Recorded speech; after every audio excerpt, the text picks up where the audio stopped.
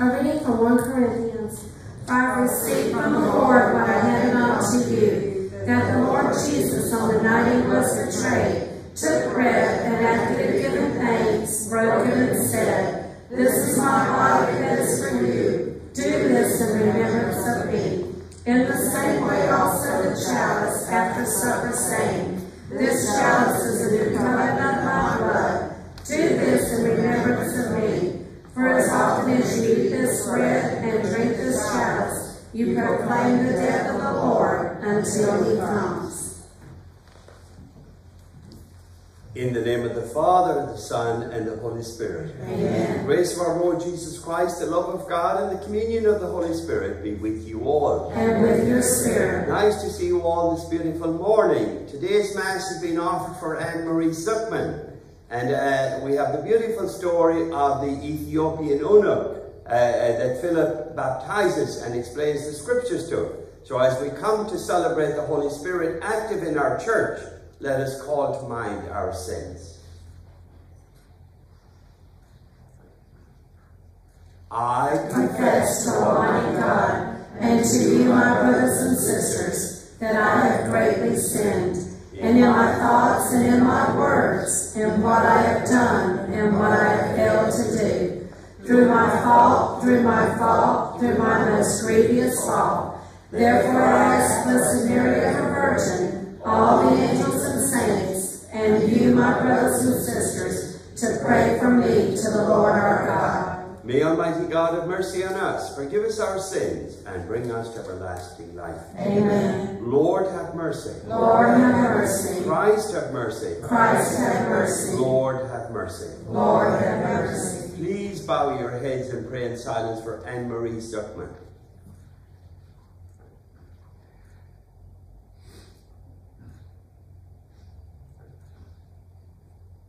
Almighty ever-living God, let us feel your compassion more readily during these days, when by your gift we have known it more fully, so that those who have those you have freed from the darkness of error may cling more firmly to the teachings of your truth.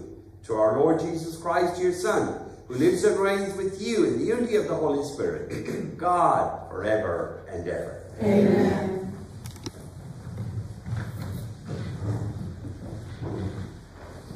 A reading from the Acts of the Apostles, chapter 8, 26 through 40. The angel of the Lord spoke to Philip, Get up and head south on the road that goes down from Jerusalem to Gaza, the desert route. So he got up and set out.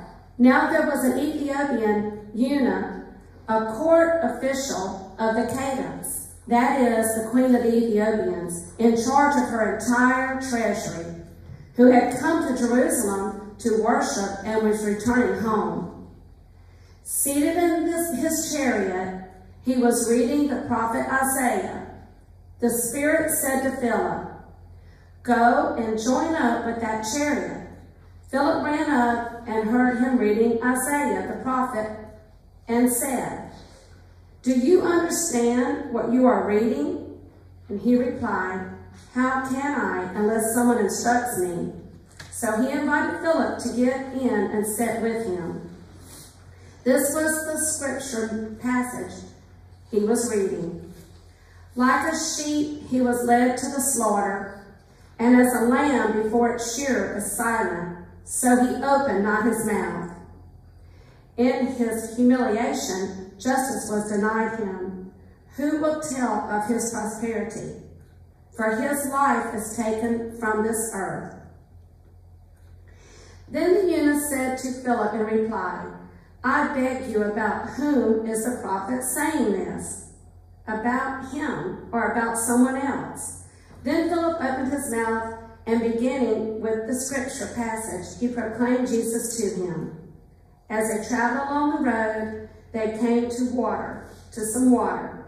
And the eunuch said, Look, there is water. What is to prevent my being baptized?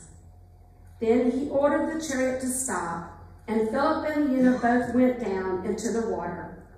and he baptized him. When they came out of the water, the Spirit of the Lord snatched Philip away, and the eunuch saw him no more, but continued on his way rejoicing. Philip came down to Azotus and went about proclaiming the good news to all the towns until he reached Caesarea. The word of the Lord. Thanks be to God. Responsorial Psalm number 16, 66. Let all the earth cry out to God with joy. Let all the earth cry out to God with joy. Bless our God, you peoples. Loudly sound his praise. He has given life to our souls and has not let our feet slip. Let all the earth cry out to God with joy. Hear now, all you who fear God. While I declare what he has done for me, what I appeal to him in words, praise was on the tip of my tongue. Let all the earth cry out to God with joy.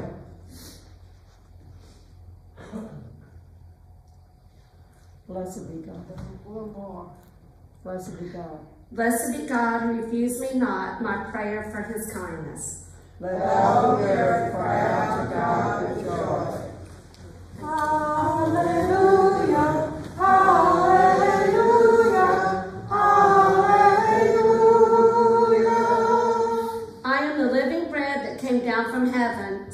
Lord. Whoever eats this bread will live forever. Hallelujah. Hallelujah. Hallelujah. The Lord be with you. And with your spirit. A reading from the Holy Gospel according to John. Glory to you, O Lord. Jesus said to the crowds, No one can come to me unless the Father who sent me draw him, and I will raise him on the last day. It is written in the prophets, They shall all be taught by God. Everyone who listens to my Father and learns from him comes to him, comes to me. Not that anyone has seen the Father except the one who is from God. He has seen the Father. Amen, amen, I say to you, whoever believes has eternal life. I am the bread of life. Your ancestors ate manna in the desert, but they died.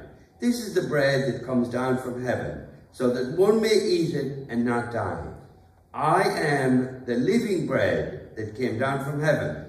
Whoever eats this bread will live forever, and the bread that I will give is my flesh for the life of the world. The gospel of the Lord. Praise to you, Lord Jesus Christ. In the first reading today, we see the activity of the Holy Spirit. And we should never forget that the Holy Spirit is active in all people in the world. I was thinking this morning, very often in the Bible, the Holy Spirit is compared to the wind. And if you look out, you'd never know how windy it is until you look at the trees or the shrubbery and the way it is blowing, or if you're outside, it's really windy. And, and, you know, sometimes we forget that the Holy Spirit of God is a powerful force in work, in the wor- in working in the hearts of every human being, not just in the church. The Holy Spirit is given to everyone, and everyone is a potential saint. Everyone can be saved because of the working of the Holy Spirit and the merits of Jesus Christ. So we should never forget the great gift Jesus Christ has given us, the gift of the Father and the Son in the Holy Spirit. And in the gospel today, this is very powerful. You know, when Jesus says, Amen, Amen, it really means pay attention, pay attention. This is really, really important. And he says, I am the bread of life. Your ancestors ate manna in the desert. Does anyone know what manna means?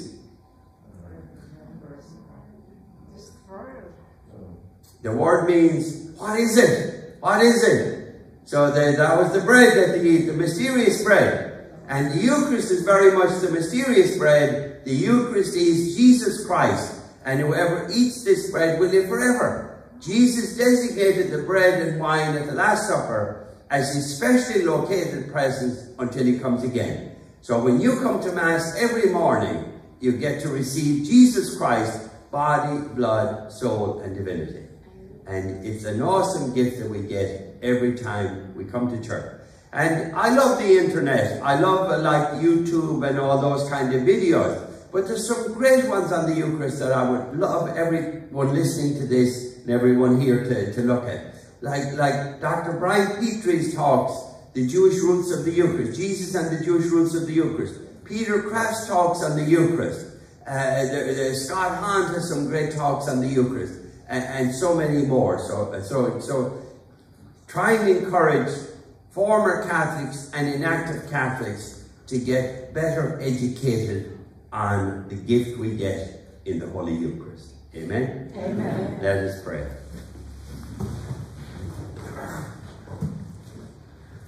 Let us pray for Anne Marie Suckman, for whom the Mass has been offered. We pray to the Lord. Lord, hear our prayer. So many people have requested prayer. We lift up in prayer all those with special needs. We pray to the Lord. Lord, hear our prayer. For the continued success of our quad process, and we pray that more and more people will join the process so they can be better educated in our faith. We pray to the Lord. Lord, hear our prayer. For former Catholics, for inactive Catholics, may they come back to Jesus Christ, the living bread come down from heaven.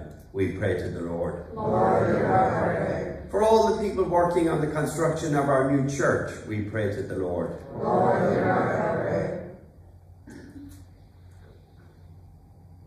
Almighty God, we thank you for sending us Jesus. We thank you for the Holy Spirit. May we always call upon the Holy Spirit to lead us and guide us through Christ our Lord. Amen.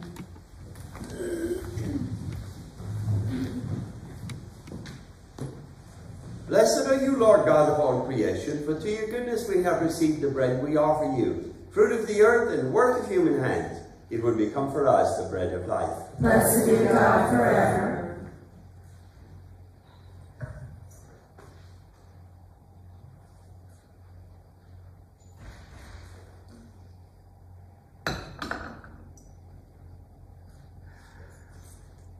Blessed are you, Lord God of all creation, for to your goodness we have received the wine we offer you, fruit of the vine and work of human hands. It will become our spiritual drink. Blessed be God forever.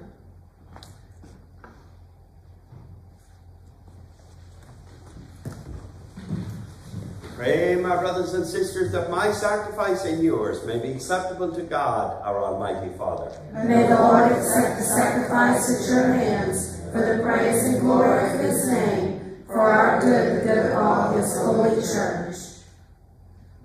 O God, who by the wonderful exchange effected in the sacrifice have made us partakers of the one supreme Godhead, grant, we pray, that as we have come to know your truth, we may make it ours by a worthy way of life through Christ our Lord. Amen. The Lord be with you. And with your spirit, up your hearts. We lift them up to the Let us Lord. give thanks to the Lord our God. It is right and just. It is truly right and just, our duty and our salvation at all times to claim you, Lord. But in this time above all to Lord ye yet more gloriously, when Christ our Passover has been sacrificed. For with the old order destroyed, a universe cast down is renewed, and integrity of life is restored to us in Christ. Therefore overcome with paschal joy. Every land, every people exults in your praise, and even the heavenly powers with the angelic host sing together the unending hymn of your glory as they acclaim. Holy, holy, holy Lord, God of hosts, heaven and earth are full of your glory. Hosanna in the highest. Blessed is he who comes in the name of the Lord. Hosanna in the highest. St. Basil the Great, born in the year 330, has a beautiful quote on the Eucharist. He said, To partake of the body and blood of Christ is good and beneficial, for he says quite plainly, He that eats my flesh and drinks my blood has eternal life. Who can doubt that to share continually in life is the same thing as having life abundantly? You're indeed holy, O Lord, the font of all holiness. Make holy therefore these gifts, we pray, by sending down your Spirit upon them like the dewfall, so that they may become for us the body and blood of our Lord Jesus Christ. At the time he was betrayed and entered willingly into his passion, he took bread and giving thanks broke it and gave it to his disciples, saying, Take this, all of you, and eat of it, for this is my body, which will be given up for you. My Lord and my God. In a similar way, when supper was ended, he took the chalice, and once more giving thanks, he gave it to his disciples, saying, Take this, all of you, drink from it, for this is the chalice of my blood, the blood of the new and eternal covenant, which will be poured uh, out for you and for many for the forgiveness of sins. Do this in memory of me. My Lord and my God. The mystery of faith. Save us, Savior of the world, for by your cross and resurrection you have set us free.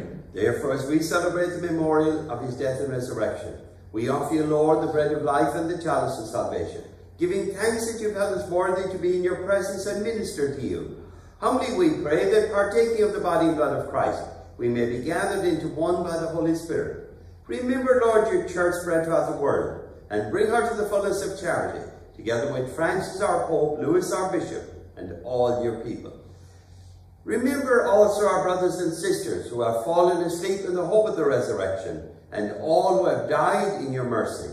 Welcome them into the light of your face. Have mercy on us all, we pray, that with the Blessed Virgin Mary, Mother of God, with Blessed Joseph, our spouse, with the blessed apostles, and all the saints who have pleased you throughout the ages, we may merit to be co-heirs to eternal life, and may praise and glorify you through your Son, Jesus Christ. Through him, and with him, and in him, O God Almighty Father, in the unity of the Holy Spirit, all glory and honor is yours forever and ever. Amen. Amen. Amen.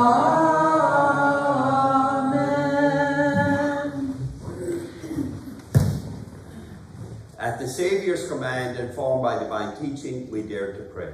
Our Father, who art in heaven, hallowed be thy name. Thy kingdom come, thy will be done, on earth as it is in heaven.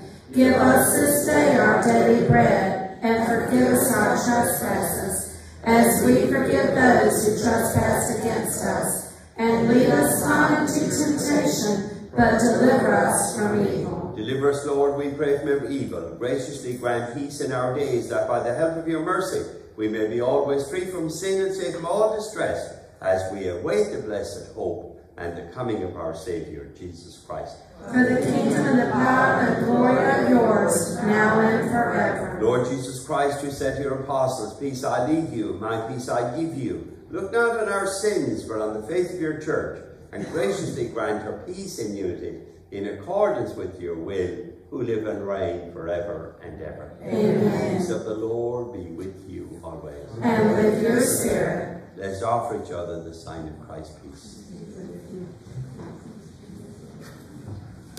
Lamb of God, You take away the sins of the world, have mercy on us. Lamb of God, you take away the sins of the world, have mercy on us. Lamb of God, you take away the sins of the world, grant us peace. Behold the Lamb of God. Behold him who takes away the sins of the world. Blessed are those called to the supper of the Lamb. Lord, I'm not worthy that you should enter under my roof, but only say the word, and my soul shall be healed. May the body and blood of Christ keep us safe for eternal life. Amen.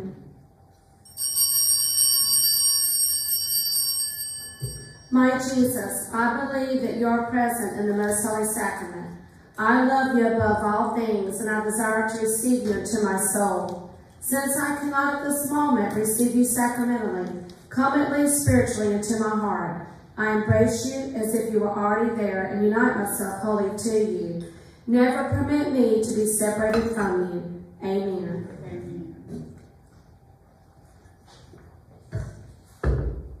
Let us pray. Graciously be present to your people, we pray, O Lord, and lead those you have imbued with heavenly mysteries to pass from former ways to newness of life through Christ our Lord. Amen. Please be seated now for me.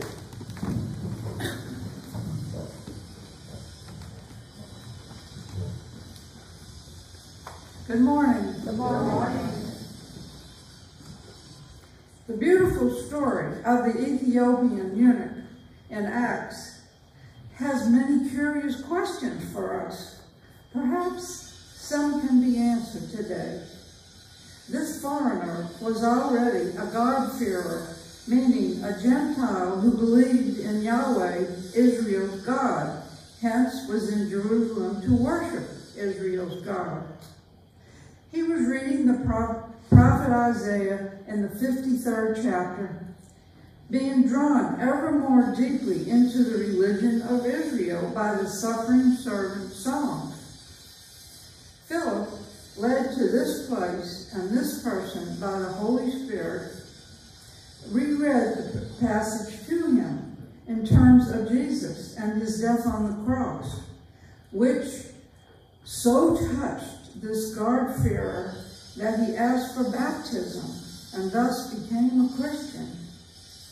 I can feel the confusion in this man's soul as he read Isaiah, and when Philip, deacon in Christ's new church, filled with the Holy Spirit's fervor, heard his pitiful voice begging for understanding, he was gloriously able to solve his his uh, confusion and tell him about Jesus, our Savior. Direct a description of God's planning human lives, this court official's life, our life, than this story? Pulling, yes, pulling Philip away from whatever he was doing and directing his every movement so as to be in the right place at the right time to share his faith with someone not even of his own country, a foreigner. And then, just at the right moment, water. And remember, it was on the desert route, as Luke said. Water. What would stop me from being baptized? Pleads the sincere official.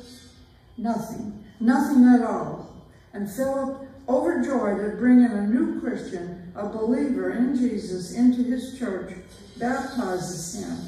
Two faith-filled believers in the middle of the desert. And don't you feel for the driver of the chariot, who obviously heard all this and could very well wish he too could jump in and join them? Well, we all have our own uh, confusions, our Isaiah, and we have our own water. It's just up to us to be uh, disciples of Christ and jump right in. Thank you. Amen. Very good, May. Thank you very much. Got a cute email here. Inside the bank vault, the various denominations of money began to discuss the place they'd been. The $100 bill said, I've been to Tokyo, Paris, Dublin, Ireland. The 20 said, I spent a lot of time in Las Vegas and in uh, Atlantic City and the casinos of Biloxi. The one, meanwhile, said, I have traveled from, the one dollar bill said, I've traveled from church to church to church.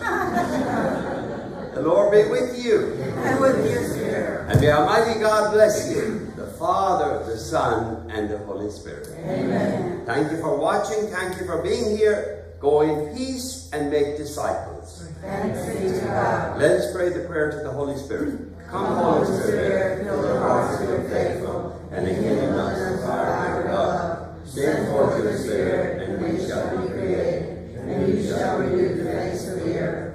Let us pray, O God, by the light of the Holy Spirit, instruct our hearts of faithful, granted by the same Holy Spirit, we may be truly wise and ever rejoice in His consolation. Through Christ our